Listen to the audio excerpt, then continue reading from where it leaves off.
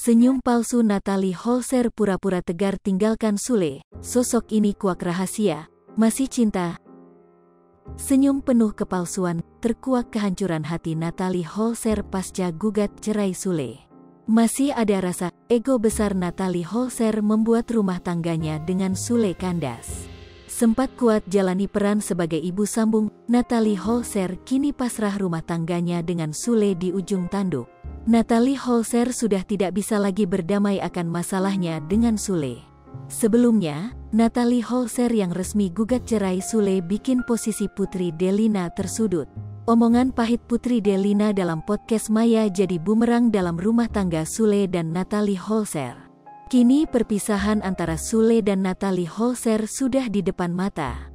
Tak bisa lagi diperbaiki, keputusan Natalie Holzer tinggalkan Sule sudah bulat. Banyak pihak yang menyayangkan perpisahan di antara Natalie Holzer dan Sule.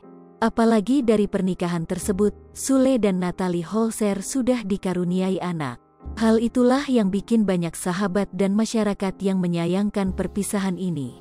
Dalam tayangan YouTube Cumi Cumi, tanggal 11 Juli tahun 22, pakar mikroekspresi Kirdi Putra mengatakan bahwa Natalie Holzer senyum basa-basi.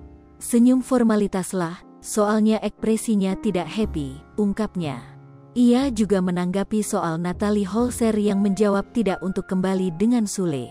Dia nggak basa-basi, jawabannya lugas dan tegas, ungkapnya. Dirinya menyebut sepakat dengan jawaban Natalie Holzer soal masih sayang dengan Sule. Masih cinta dan sayang tapi tidak lebih besar dari masalah yang terjadi dengan keduanya, ungkapnya. Karena dia pasti berpikir tentang nasib sang anak, ungkapnya.